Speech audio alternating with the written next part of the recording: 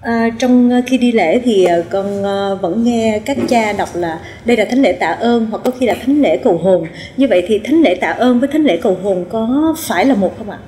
Và ừ. như vậy thì tạ ơn Chúa hay là đó là một nghĩa cử để nói lên lòng tri ân với người quá cố thưa cha? À vâng. Thì trước đây cái này câu hỏi chúng ta có thể nói là tôi trả lời ngắn gọn thôi về ý nghĩa của thánh lễ. Ý nghĩa của thánh lễ. Bất kỳ một thánh lễ nào thì đều là thánh lễ tạ ơn tạ ơn là cái gì tạ ơn ai thưa thánh lễ là hành động thờ phượng công khai của hội thánh toàn thể, nghĩa là hội thánh kết hợp với Chúa Kitô là đầu, để tạ ơn Thiên Chúa Cha về công trình, tạo dựng và cứu chuộc. Chúa Cha đã hào phóng, tạo dựng và cứu chuộc nhân loại. Thế thì tất cả hội thánh cùng với Chúa Kitô là đầu, tạ ơn Chúa Cha.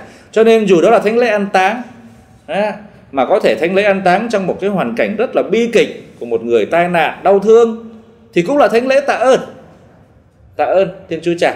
Nhưng mà đồng thời cũng là lồng vào đó những cái gì rất hiện sinh, rất hiện thực của cuộc sống.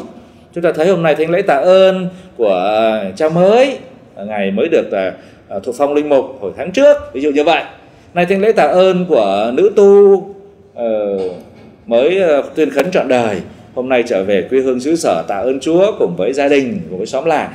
Đấy, tạ ơn được gắn vào những biến cố cụ thể của đời sống.